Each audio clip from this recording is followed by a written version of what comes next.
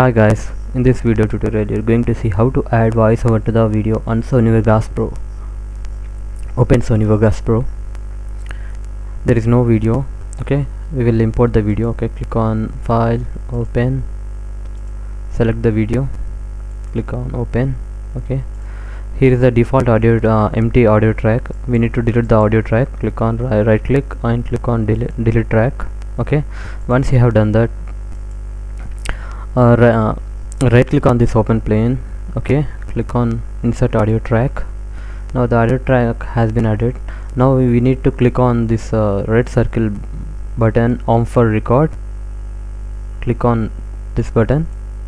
You can see that uh, whenever we make sound the, there is a movement on the slider okay? Now we need to click on this record button to record the voice okay? Click on record Hi guys, in this video tutorial you are going to see how to add voice over to the video, okay? Now the voice is currently uh, recording over the video, okay? If you have done with the uh, voice over, click on this button once again to uh, stop the recording, okay?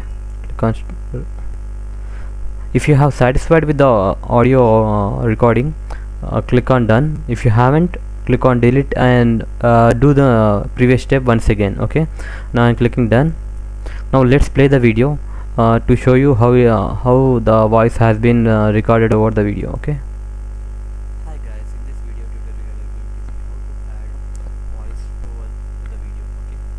Now the voice is currently uh, the sound which you have heard is uh, the voiceover okay this is a way to get, do it guys thanks for watching. Please subscribe to our channel